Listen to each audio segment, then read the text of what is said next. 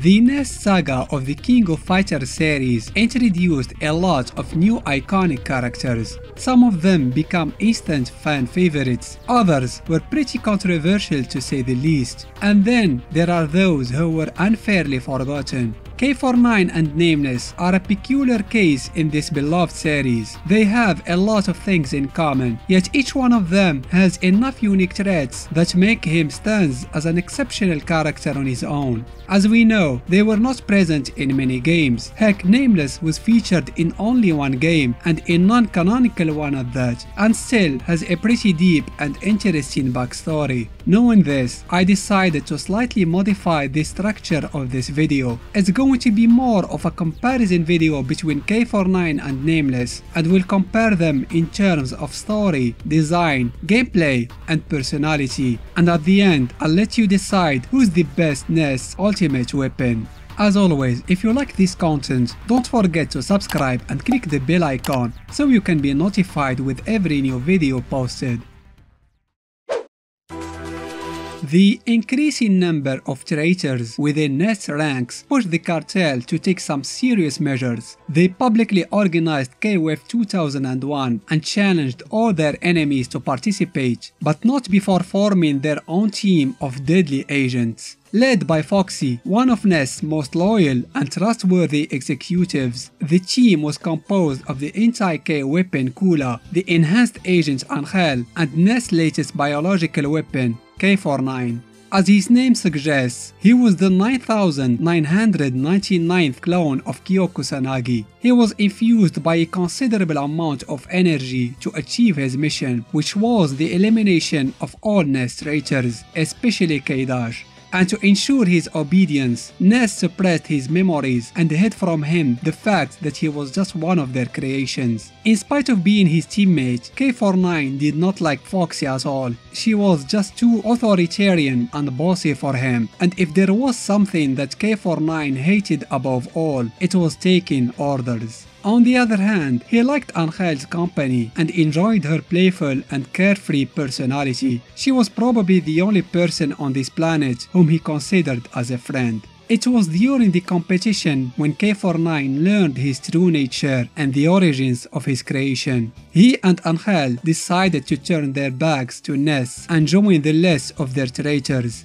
They attacked Foxy from behind and almost killed her. Despite her strength, Kula was no match against both of them. Intimidated by their menace, she witnessed powerlessly as they ran away together. They completely vanished from the surface of Earth. And while it's true that Angel did make a comeback during the latest KOF, K49 was never seen again.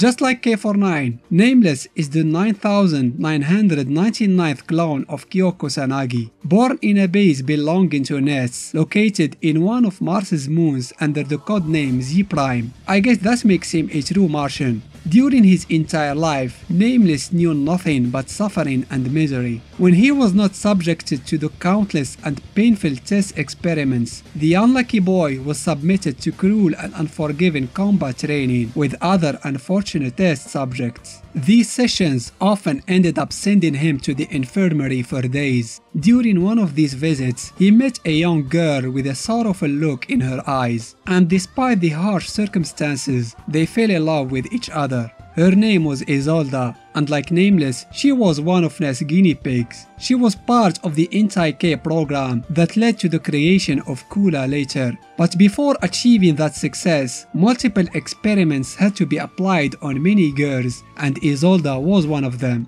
She was considered to be a defective subject, and NESTS was not satisfied by her cryokinesis abilities. But when she met Nameless, her capabilities were significantly improved, and NESTS noticed it. They made sure that the two could meet more often so that Isolde's power could improve. And it went like that for a while, and those were the happiest times for Nameless. Sadly, his short-lived happiness ended abruptly when Isolde stopped coming to the infirmary. He had no idea that his lover had died some time ago during one of the test experiments. Of course, NESTS didn't see the need to inform him. They were more concerned in making sure that their work on Isolde won't go to waste. They extracted her DNA and infused a special glove with it, the same glove that was given to him later to maintain his flames under control. Isolde's DNA was perfect to nullify Nameless fire. After all, she was an anti-K weapon. When he was ready, NESTS sent him to Earth as an assassin. His mission was to eliminate all NESTS traitors. One day, he learned from one of the cartel's former agents what happened to Isolde, but despite his frustration and anger towards Nests, Nameless decided to remain loyal to them in hopes that one day he'll be able to restore Isolde's essence to her original body. When it comes to character design, K49 has a catchier look with flashy colors symbolized by a yellow top and bluish hair. He looks like a rabid dog ready to bite at any moment. Thanks to his shapeshifting ability, K49 is capable to change his appearance and clothes. He usually uses this power to mimic K-Dash and mock his wind poses. All in all, K49's design is one of the best in the series, if only it was 100% original and that's the problem. Many characters of the series were inspired by famous anime figures, but in the case of K49, it's a plain ripoff. To put it mildly, he was heavily inspired by Tetsuo Shima, the antagonist of the famous animated film Akira. It's important to note that KOF 2001, the game where K49 was first introduced, was not developed by SNK. At that time, the company was facing bankruptcy, and thus the game was produced and developed by a South Korean company named Eolith in partnership with former SNK employees who formed a new company called Brezzasoft. When SNK decided to remake KOF 2002 after their comeback in the gaming industry, they brought all the characters who were present in that game and even added many more, except K49. You can say they hated this character and acted as if he never existed. Moreover, it appears that they had to face some copyright issues because of him. So, to turn this page for good, they introduced their own version of the last clone of Kyo Kusanagi, and thus Nameless was born. Dressed all in black, his design resembles Krizalid's. He has black and white hair, indicating that he was created by mixing Kyo and K-Dash's DNA. Unlike K49, his demeanor is calm and thoughtful. He also looks badass with that cape of his, which he wears outside combat. Maybe just me, but he kind of reminds me of Asura from Samurai Shodown 64. Being a Kyo clone, K49 has the ability to create fire. However, unlike other clones, most notably K-Dash, his pyrokinetic power is pretty limited. His deadliest faculty resides in his polymorphic arm. K49's arm can take any shape he wishes. Most of the time, he transforms his arm into a drill-like form, but it can also take the form of a shotgun. K49 has also some psychic powers and can use it to create a shield-like form that damages any close enemies. He doesn't have complete control over his arm however, and that's why he wears a special glove that prevents his arm from going berserk. This can be seen in his secret desperation move when he intentionally takes off his glove and lets his arm morph in an uncontrollable mass made of flesh and tentacles. It looks impressive for sure, but sadly, it's also copied from Akira's Tetsuo.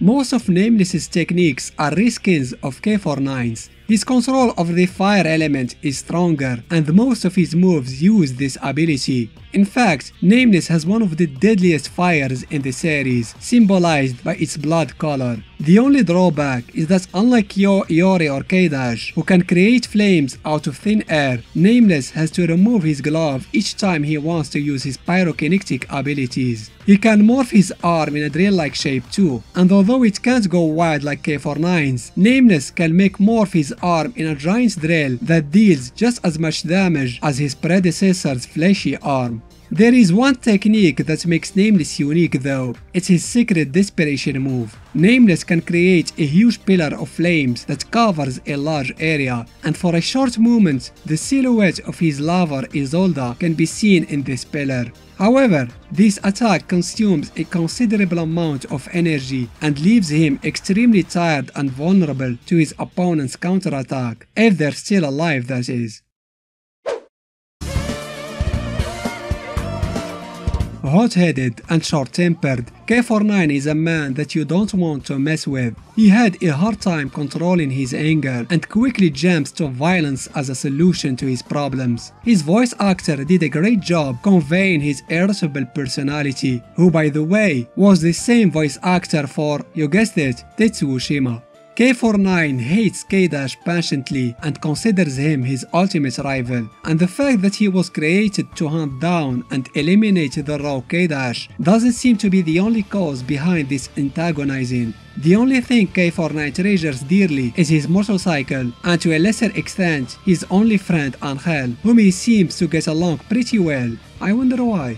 On the other hand, Nameless is the total opposite of K49 in terms of personality. He is more calm and cold, with a little bit of sadness in the way he speaks. That being said, he sometimes loses his cool temper when facing certain characters or during some of his attacks. Fun fact, he was voiced by Daisuke Ono, the same actor who did the voices for Jotaro Kujo in JoJo's Bizarre Adventure, Erwin Smith in Attack on Titans, and the announcer in KOF 2002 UM. Nameless is a tragic character that wishes nothing more than being with his beloved. He constantly thinks about her and even confounded her with Kula when he saw her. Both girls were part of the Anti-K project after all and share some physical resemblance. He knows that his only hope to revive Isolde is to stay under NESTS' orders and doing their bidding, making him one of the very few people who didn't ended up betraying the syndicate. Did I mention that he has one of the best themes in the game? It perfectly fits his character and the deep sadness, anger and determination within him. While it's true that he was present in only one non-canonical game, Nameless himself is considered by many to be a canon character,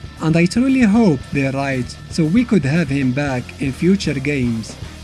Which one of these two awesome characters is your favorite? Do tell in the comment section. Special thanks to my patrons for their generous support. I hope you enjoyed this video. Give it a thumbs up if you did, and why not consider subscribing to the channel. Thanks for watching.